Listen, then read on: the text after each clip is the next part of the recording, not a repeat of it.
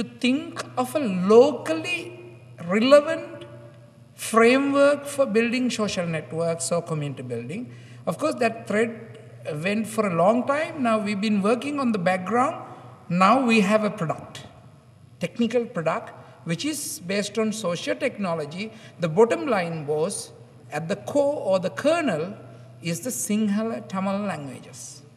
Rather than trying to implement Tamil Sinhala languages on a software which we borrow or framework we borrow, so you build the tech, Sinhala and Tamil languages, their requirements, their issues, constraints into the system and build the system around it. So it's a different approach. So some, some sort of a social technology development success that we have had.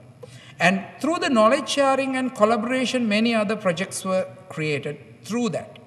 And a lot of knowledge was created voluntarily, which is not seem possible.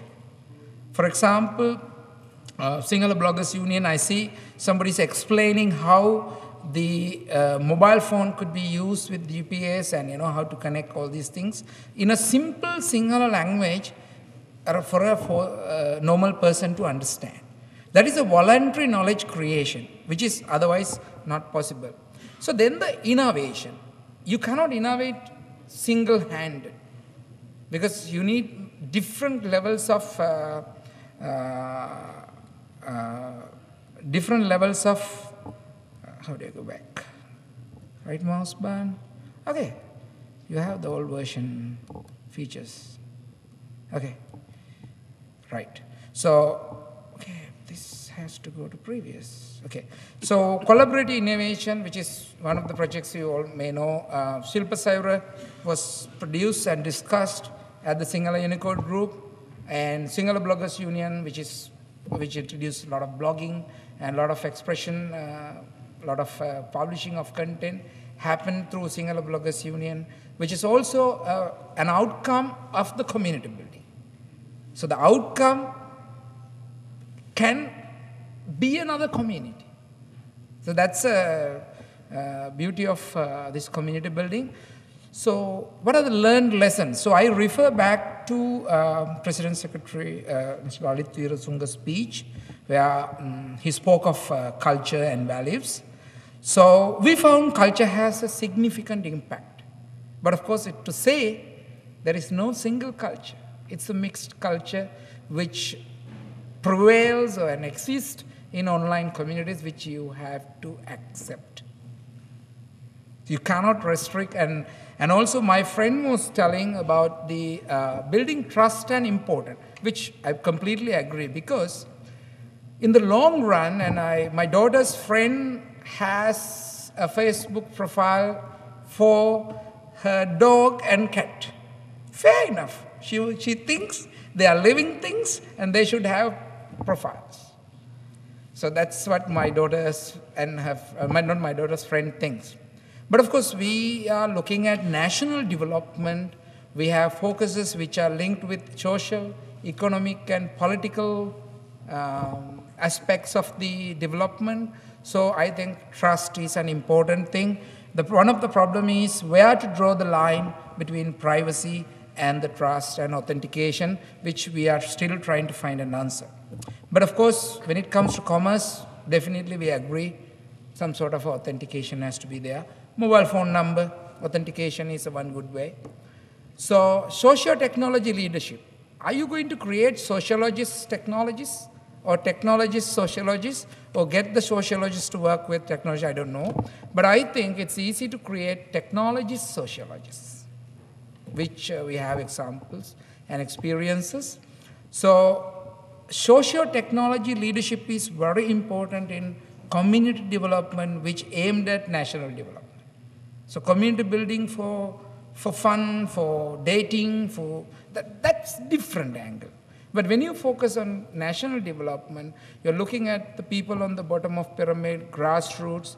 So, so you need social technology leadership, which is the key, and community collaborative solution. You cannot give solutions if the community is not collaborating.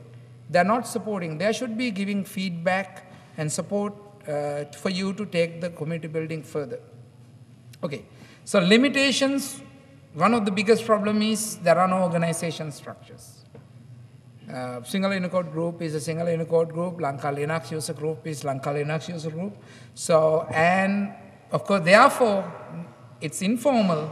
So no support mechanisms. Chitrangani should be looking at these kind of informal mechanisms to bring them through e-society or something to support these kind of activities.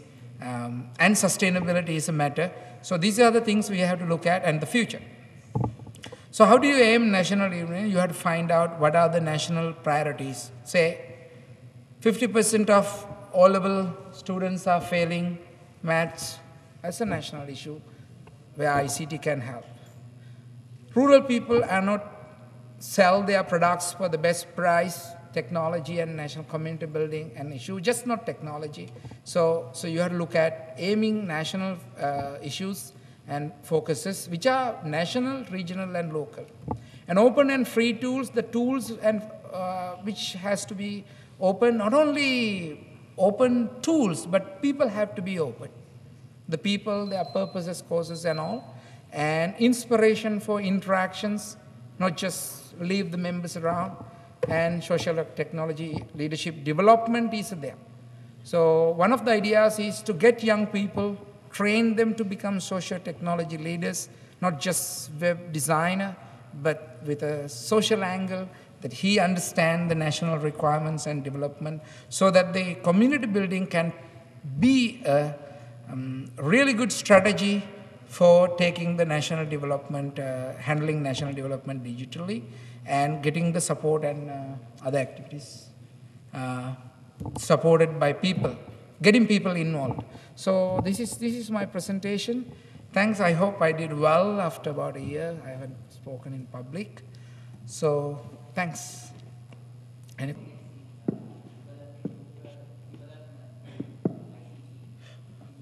Okay, uh, uh, that's a very, it has a very long answer and a very short answer. Short answer is if you go to Google, rural development Sri Lanka, and you will find so many projects. For example, for me, I think uh, for your next presentation, you should be able to hear from Chitrangani. A lot of projects from Sri Lanka, e-society. Universities have done local language uh, translations of applications. We have done Shilpa Sayura, which is a rural education development uh, through Nanasala and schools. And there are many projects for agriculture. But of course, uh, I understand your question. A lot of things have not been connected to the public. I think next phase is more, rather than development, uh, getting the people involved with the already developed things and scaling up, then you will get to know. Basically, there are a lot of projects. Of course, if you contact me. Any specific area,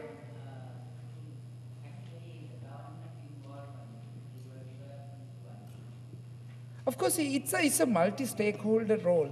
Government only cannot give the money sometimes, sometimes give guideline, create infrastructure, but the people have to run it. That's how the ICT-based rural development works. Uh, because the, the, the, the, it, it happens in the bottom of the pyramid. So it has to be the people from uh, has to do. So government is one of the major contributors, but also universities, who are researchers, then the private sector. It's a, it's a multi-stakeholder partnership process.